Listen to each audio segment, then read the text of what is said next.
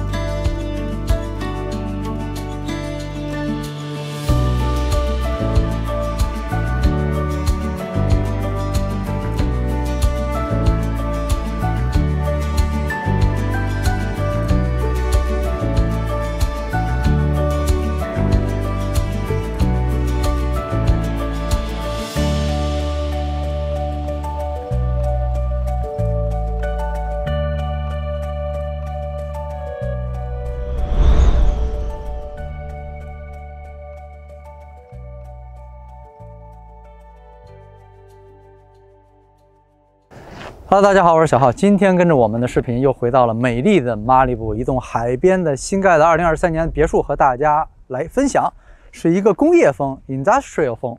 它整个的 property line 的围栏都是那种木桩和钢的铁的这种桩子，就像工厂外面的围栏一样设计，非常有特点。有人可能不喜欢啊，但是对于喜欢极简风、工业风的朋友来讲，今天这种房子大家有眼福了，因为很少能见到这么完善的新盖的房子。可以看到这边的。所有的围土的挡土墙啊，全部都是用的铁片啊，非常有特点。那进来呢，前院呢也可以所谓的就是这种沙漠风，或者是低环保，需要用少水的这种多肉植物比较多。到这一侧呢，有两个分道，左边呢是去它的泳池的区域，哎，还有下面一些维护的设备，因为这个地确实很大。从右边这边走，绕过来以后呢，就是通往它主房的正门以及车库的位置。车库当然有自己的铁门啊，打开了以后。地面也不是用水泥铺的那种平滑的水泥 concrete 的地面，全部都是石子铺上来的，最后才会到你的车道的内部。室内可以停两辆车。那么从这边上来以后，可以看到房屋的外立面啊是非常非常有特点的。这什么铝合金啊？就有点像是那种不锈钢材料，咱们以前看什么铁皮屋啊那种感觉似的。这种材料很少在 single family 这种独立屋里面去使用，非常的大胆。很有意思，因为这栋房子真的是非常非常有艺术特点一栋房子，就是 one of kind，就市场上就这一个，你找不到第二个，因为它不是 track home，它是设计师设计专门做了一栋这样的房子，非常可以表达他一种对现代年轻人生活一种态度啊，很有意思一栋房子。从这边是正门。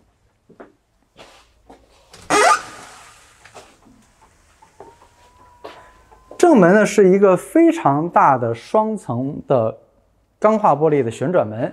进来以后，首先是从上面的天井采光，正对着的这扇玻璃是最值得介绍。它不是一扇，它一连串大概是三块玻璃，一直可以通过 c o r 中间的绿地以及一些坐的区域，最后到的是它最后面的一个卧室的休息区域，前面有一个走道，正好从这边直接能看过去，非常非常有特点。房子整体进来以后的色调啊，因为这套房子虽然是一个极简风 （minimalist），但是它不像我们之前看的很多极简风的房子，大家看起来觉得偏冰冷。但是这栋房子它运用了大量的这种泥土气息啊、土地气息的元素在里面，包括它的地面用的是偏黄偏暖色的木地板，所有的橱柜桌面全部都是用的同样的色系和大量的自然光采光进来，让你觉得不会那么的冰冷。可以看到所有的这些。橱柜都是没有伸出的把手的。到厨房这边可以看到，它的岛台选的材料也是白色的 marble 石料，中间加上金色和黑色的一些花纹作为点缀，非常非常的漂亮。那所有的窗帘呢，也都是电动的，直接可以电动上下开关。而且小细节啊，就是这边是一个大长 picture window，直接可以在这边看到海岸线，非常的漂亮。桌子上是它第一个 sink，而且它有一点小绿的非常捉到，那边有一个、两个。三个、四个，到这边第五个，就是这一侧都有五个 pop up 的这个叫什么电源。为了大家使用方便，极简风嘛，所以就尽量不在表面上突出的东西，它全部都隐藏起来了，非常的好。那主导台这边呢，是一个四十八英寸的 cooktop Viking 的非常好的牌子，抽风是在后面升起来做抽风。因为整体房屋呢，在中间也留了天井的采光了，台面的尺寸呢是正常的尺寸的双倍大小，非常的好。那身后这边冰箱。在这一侧做的隐藏的非常好啊，几乎就是如果不告诉你的话，它跟整个橱柜围起来，你不会感觉到这边还有一个冰箱。然后冻箱是在这一侧，非常有意思的一个设计。那我们再过来呢，跟大家先介绍一下房屋的一些基本信息啊。房屋呢是四房，五个卫生间，包括半卫，室内面积呢是五千一百五十平方英尺，占地面积将近两英亩。今天在市场上，马利布的要价要到六百三十五万。这个价格我觉得还是可以了，因为它这个室内面积是在这个地方嘛。那么继续，这边有它的 microwave 和它的蒸箱的位置，侧面呢是它的车库旁边的小门侧门，那停完车也可以从这边过来，都是可以的。当然，车库在后面打开了以后，从这边也是可以直接通你的主房的。然后所有的什么警报系统啊、环绕音响啊、race sliding 啊、speaker 全部都坐在了屋顶，非常干净。它整个的屋顶也是平面的，非常干净。除了能看到的就是大大的吊顶。和它的 skylight 的地方，那这边是它扩院的一侧拉门，从这边拉开以后可以到它中间的中庭的地方，全部都是有挡阴挡雨的，非常棒的一个设计。那我们在这边绕过来，吧台的这一侧和它旁边的这个转角呢，有很多可以坐的地方，下面也保留了大量收纳的空间，有一些东西就可以放在下面啊，工艺品都可以。而且从镜头里面大家可能能看到。它房屋在很多的地区呢是做了一定的 drop ceiling 的设计，它有一些隔层的地方摆放了很多的工艺品，实际上从镜头里面是能够看得到的，非常的用心。那这边以后呢，回到玄关的地方，在我去我身后之前，左手边有一个非常大的落地的 picture window，可以在侧面还有一个 powder room，右手边呢是去它的休息的卧室区域，一会儿为大家介绍。我们先跟着镜头往这边来。很多的这些橱柜的系统中间呢，它都留了一些凹槽，里面放了一些工艺品，射灯打开，然后做一些摆放的设计，而且做了一些不规则的这些形状啊，它并不是傻傻的柜子直接从上到下连起来，而且同样都是这种 earthy tone 的这种木板木料。其实这个后面就是藏了一个 powder room，它用这个橱柜的系统包出来了一个 powder room，非常非常有意思的一个设计。那从这边过来以后呢，餐厅嘛，直接走到这一侧。就是它的正餐厅的地方，正餐厅的这个位置我非常的喜欢。首先，它是一个天井的采光，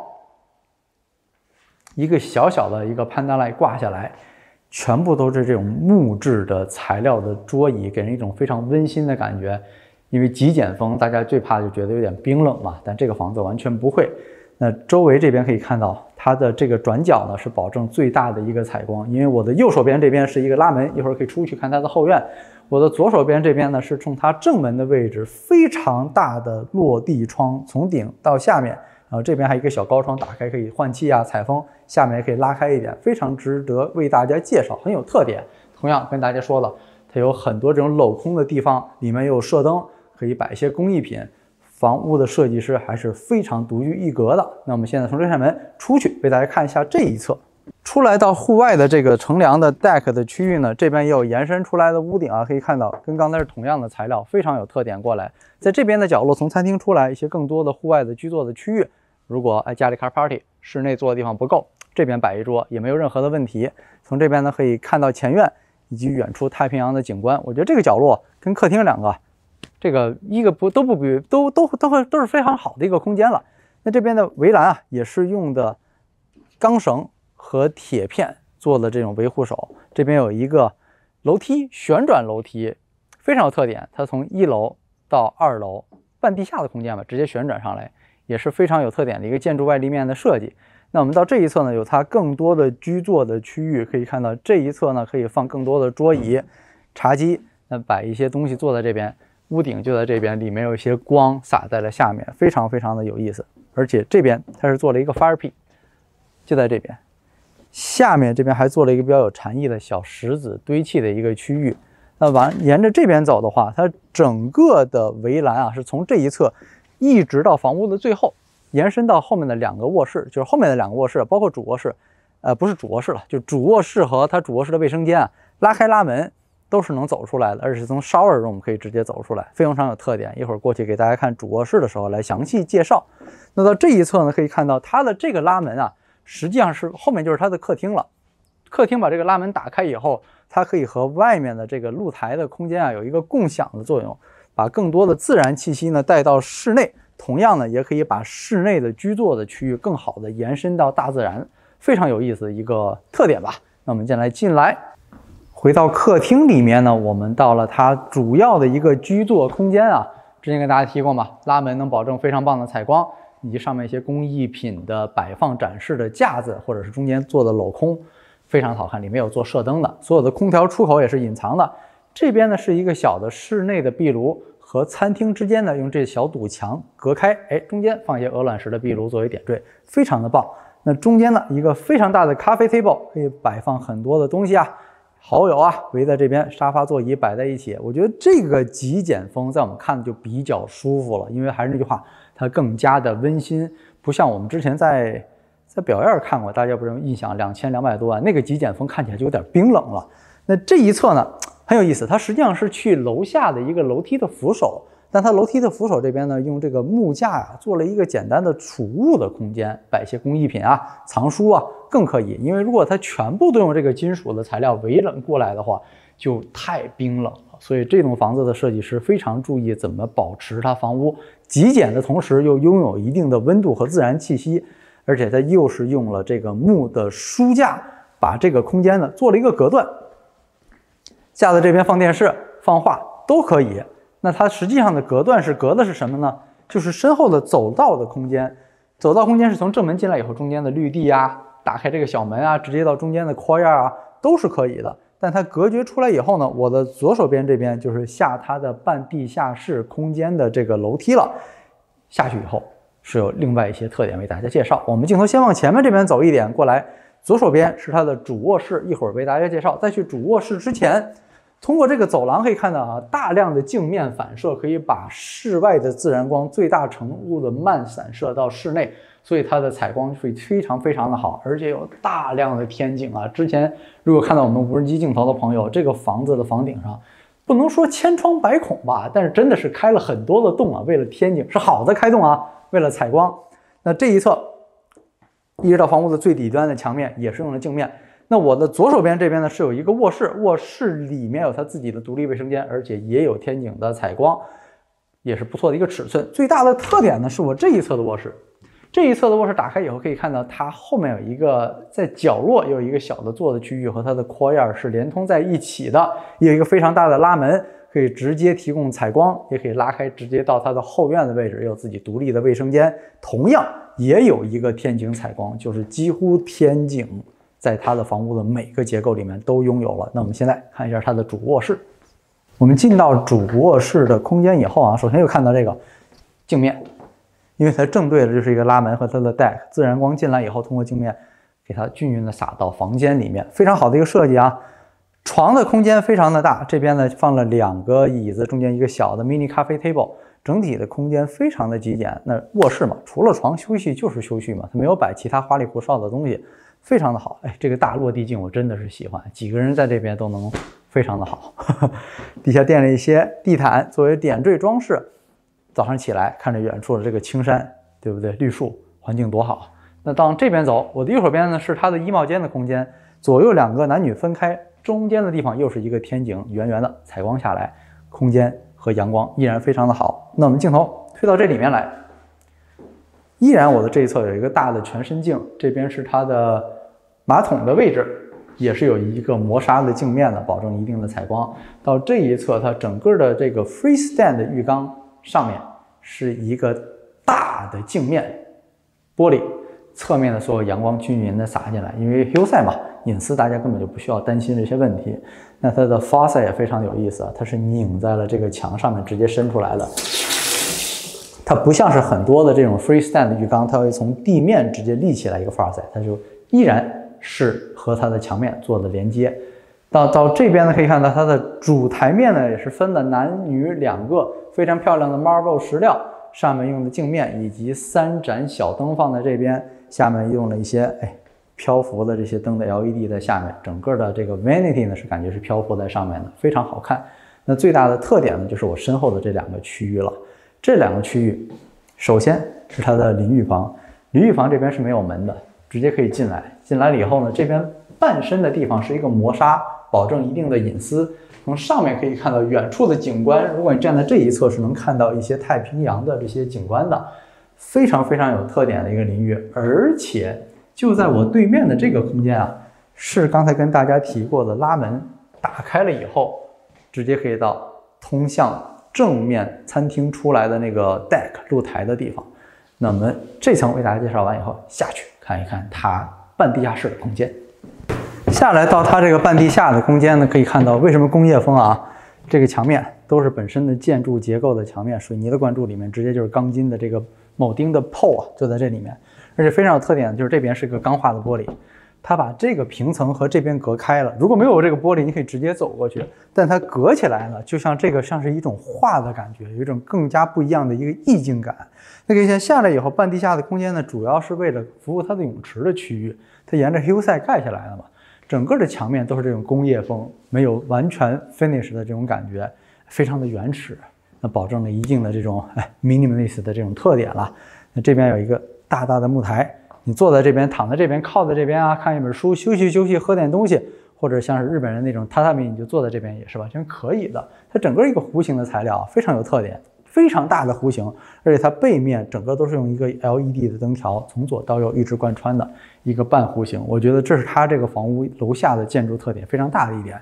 而且这个建筑材料实际上是它的一个承重结构。除了楼梯那边呢，一会儿会继续延续，一会儿为大家继续介绍。中间放了一个乒乓球桌啊，那你说你放个台球桌，放什么东西都可以。这边也同样，全部都是用的一样的材料。它下面就是保证它的一个结构的材料，industrial 风格为大家展示的。这边放了一个皮椅，皮质和这个水泥的墙面的冲击感，就有这种金属的感觉就出来了。窗户采光看景，同样后面也是这边的楼下，于是它的娱乐空间嘛，也有一个 mini 水吧的地方，非常漂亮的 marble 材料，同样木色跟楼上一样的木质橱柜的颜色，这种飘起来的 shelf。上面全部都是有做了 LED 的灯带的，做一些点缀，非常的漂亮。后面全部都是镜面，这个小空间它也利用的是非常非常到位了，可以说是。那么沿着镜头继续走，看它房屋的另一侧。那我们到这一侧角落以后呢，首先是它的拉门，拉开以后是去它的后院的，一会儿会为大家详细的介绍。除了拉门啊，普通的门也有。那到这边以后呢，这一侧是它的一个洗衣房的地方。洗衣房的内侧可以看到，继续看到它的承重的结构，全部都是木色的柜门，非常统一的色调，稍微有一些禅意。这个房子有一点日式的风格在这边。那在这一侧呢，跟大家不知道有没有眼尖的朋友啊注意到，其实这是楼下的一个套间，这是一个拉门 pocket 非常的重啊，实心的。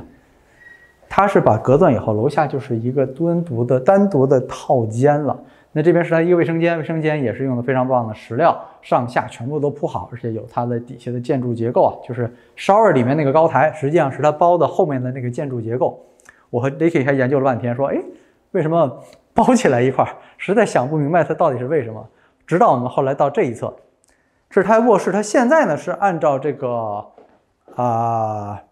叫什么办公室为大家展示的。都打好了柜子，到这一层发现了，哎，这是它的楼下的这个承重的部分的材料，继续延伸过来。同样啊，你也可以坐在这边，靠在这边，躺在都是这边都是可以的。而且坐在这一侧，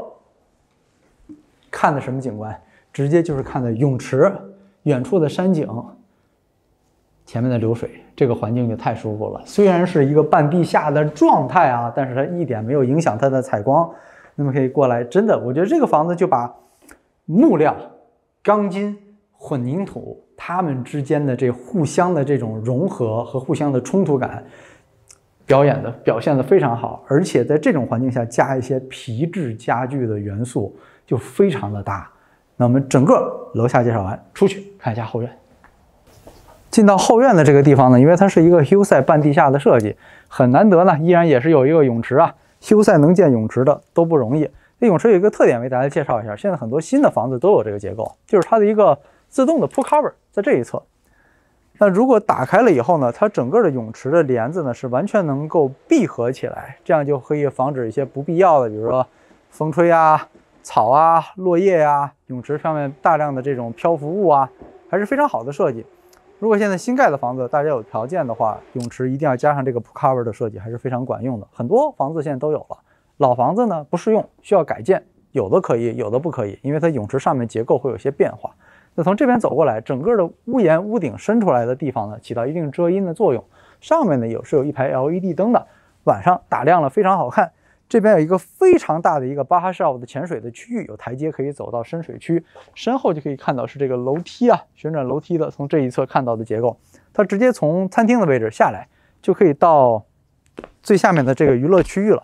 娱乐区域所有的泳池的边上这边都是有灯的，晚上可以打开。那这一侧呢是一个小的圆形的热泡池，泡在这边可以看它的前院景观、花草、植被，非常非常的漂亮。这个房子还是蛮有特点的一个房子。那么今天这个房子白天的部分为大家展示完了，我们现在一起来看看它晚上关了灯以后是什么样子。